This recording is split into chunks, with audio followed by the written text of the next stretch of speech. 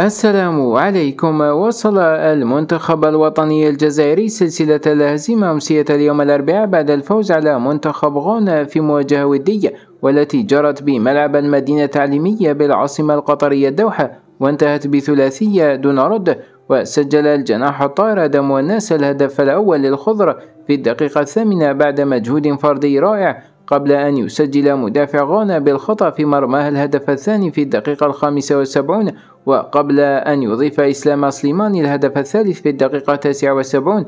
وبهذا الفوز وصل أبطال أفريقيا للمباراة الرابعة وثلاثون دون هزيمة ليقتربوا من تحطيم الرقم القياسي العالمي لمنتخب إيطاليا بسبعة وثلاثون مباراة.